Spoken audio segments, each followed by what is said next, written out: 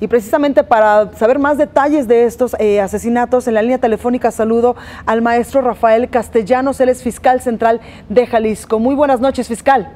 Buenas noches, a tus órdenes. ¿Qué pasó exactamente en estos homicidios de la policía eh, allá en Tlaquepaque?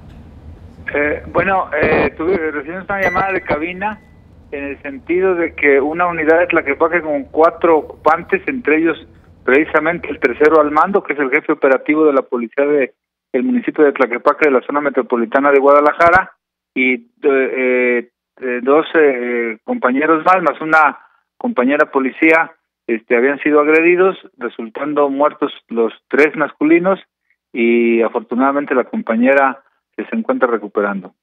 ¿Ya hay detenidos o hay alguna pista sobre los agresores? Tenemos pistas sobre los de los agresores, sobre todo de los vehículos en los que se perpetró la agresión.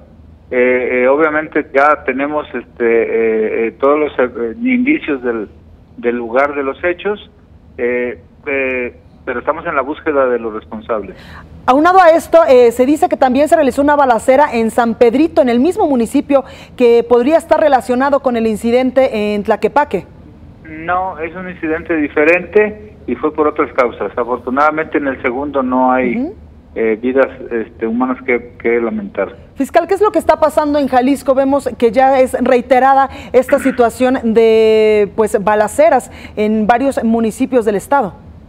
Bueno, lo que sucede es de que ha habido detenciones en los últimos meses de eh, cabecillas de, de, líderes de grupos delictivos y los reacomodos eh, dentro de esos mismos grupos pues ha generado ahí una guerra por los territorios, el que es el caso de San Juan de los Lagos, ya lo uh -huh. ha declarado nuestro fiscal general, en donde hemos tenido en la última semana tres enfrentamientos, afortunadamente con saldos positivos para el Estado y para nuestra fuerza única, y bueno, se está eh, eh, imponiendo el orden. También en el municipio de Ocotlán estamos este con un frente de trabajo, eh, y bueno, Guadalajara, que pues es donde está el 4.6 millones de jaliscienses, no es ajena a estas, a estas cuestiones, pero la estamos atacando frontalmente. Perfecto. Muchas gracias, eh, fiscal de Jalisco, Rafael Castellanos, por esta entrevista para el financiero Bloomberg. Gracias a ustedes que nos permiten hablar a, a todo el teleauditorio de la República Mexicana y del extranjero. Gracias. Gracias y muy buenas noches.